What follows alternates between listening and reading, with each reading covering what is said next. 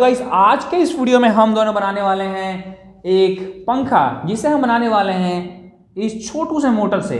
इस छोटू से मोटर को हम बैटरी में लगा के चालू करने वाले हैं। आप सब देख के हैरान ही हो जाएँगे, बिल्कुल भरोसा ही नहीं होगा कैसे चलने वाला है। भाई, देख के तो समझ ही नहीं पाएगा क्या गजब खेल चल रहा है इधर। एक हमने लिया है डीसी मोटर हमने उसके लिए लिया एक छोटा सा पंखा और पंखा के साथ एक कनेक्टर लिया और एक बैटरी लिए। इन चारों के कॉम्बिनेशन से आज हम जो डीसी मोटर चलाने वाले हैं ना, और उससे जो हवा आने वाला है, इतना मस्त हवा देगा, आप लोग विश्वास नहीं होगा।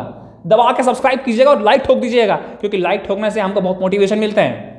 चलिए स्टार्ट करते हैं। सबसे पहले क्या करना है कि जो फ़ैन का ब्लेड है, इसे मोटर के ऊपर लगा देना है। नज़दीक लग दिखाएगा। दिखे अपने ऑडियंस को। ऑडियंस सबको दिखना चाहिए। अब जैसे कि मोटर पर लग चुका है तो हमारा ब्लेड रेडी है। इसके बाद इसके पीछे दो टर्मिनल पे हमको वायर जोड़ना है, ठीक है? वायर जोड़ने के बाद हम इसे बैटरी से कनेक्ट करेंगे। पहला एंड जोड़ दिया है, जैसे कि आप सब देख सकते हैं। और ये है हमारा सेकेंड एंड जिसे भी हमने जोड़ दिया है। जोड़ने के बाद मोटर से कनेक्टेड हो गया हमारा। आप देख सकते हैं साफ़ साफ़ मोटर पर हमने पहले फ़ैन लगा दिया फ़ैन ब्लेड लगने के बाद कनेक्टर से कनेक्ट कर दिया। और इससे डायरेक्ट जो हमारा डीसी सप्लाई की बैटरी है, उसे लगा देंगे।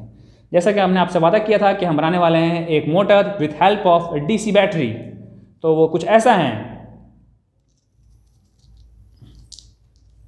गाइस अब देख सकते हैं क्या गजब मोटर चल रहा है और चलने के बाद ये हैरत अंगेज हवा भी दे रहा है। तो गाइस चैनल को सब्सक्राइब कर दीजिएगा, दबा के लाइक ठोक दीजिएगा। आप लोग लाइक करने से मोटिवेशन मिलता है और कमेंट्स में बताइएगा कि आने वाले टाइम में हम कैसे ऐसे वीडियोस बनाएँ।